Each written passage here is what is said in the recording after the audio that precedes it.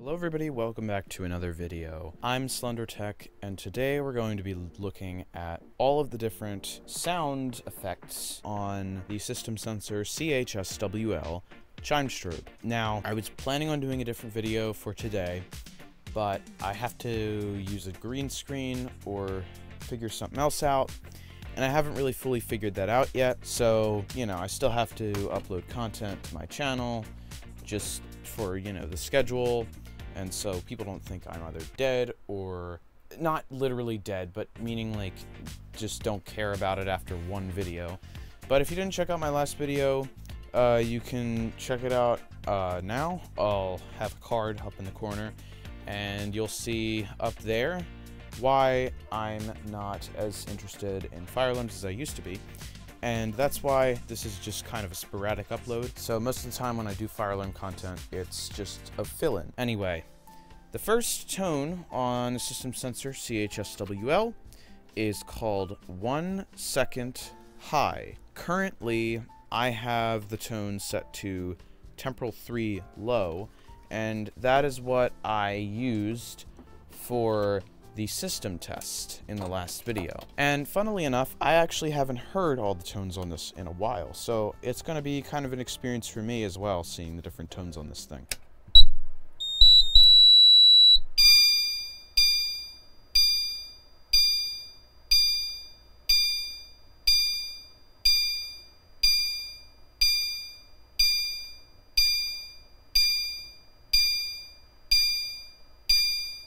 The reason why chime strobes have the option of doing different tones other than temporal 3 and continuous, as you can see here on the regular fire alarms for the L series, it's just temporal 3 and continuous with different options. And this is because chime strobes don't have to be a fire alarm. They can also be used for a, as an evacuation alarm or a medical alarm. So that's also the reason why it doesn't say fire on the sides. If this were a regular P2RWL, then it would say fire in red on the sides of the device. All right, so the next tone is called one second low, and this is a low volume interval of the original one.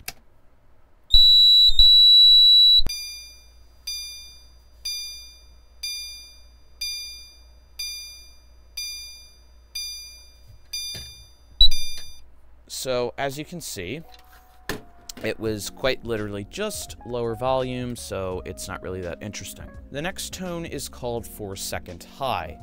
It is a variation of the previous two tones we heard, except it is the high volume version, and it is a bit faster than the other one.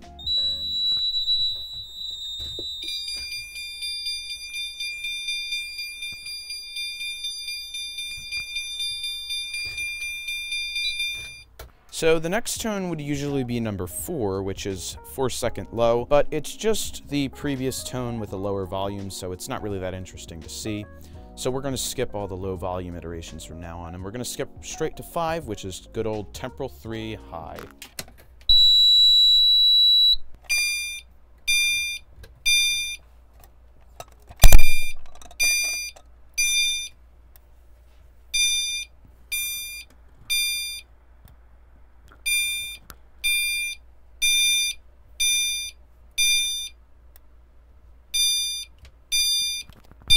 That was weird.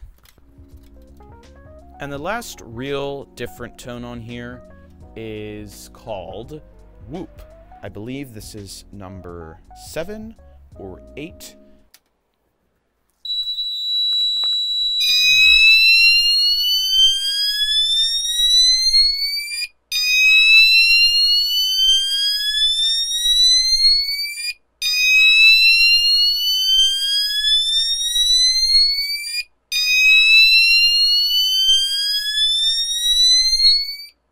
Thank you guys for watching. If you enjoyed this, please like the video and comment your thoughts down below. And of course, subscribe to my channel if you want to see more content like this, but not because, like I said, this is not going to be my main focus on the channel.